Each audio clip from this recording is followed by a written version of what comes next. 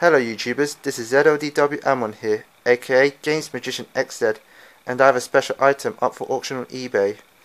This is the Persona 4 original soundtrack vinyl, which I was very fortunate to get when I bought the Persona 4 Arena game.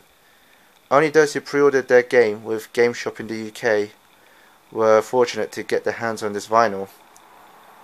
And anyone who also pre-ordered it online were fortunate as well. From what I've been told by the staff, they said that only 10 vinyls were available at selected game shops, meaning this is one of the rarest and most sought after collector's item out there.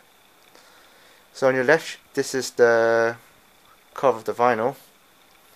On the right is the sleeve with one of the main characters, Rise. And on the center is the vinyl disc. The vinyl is completely new, it's just open to show the contents. Bidding starts on the 14th of May, approximately 2200 hours Greenwich Mean Time. This will be a five day auction.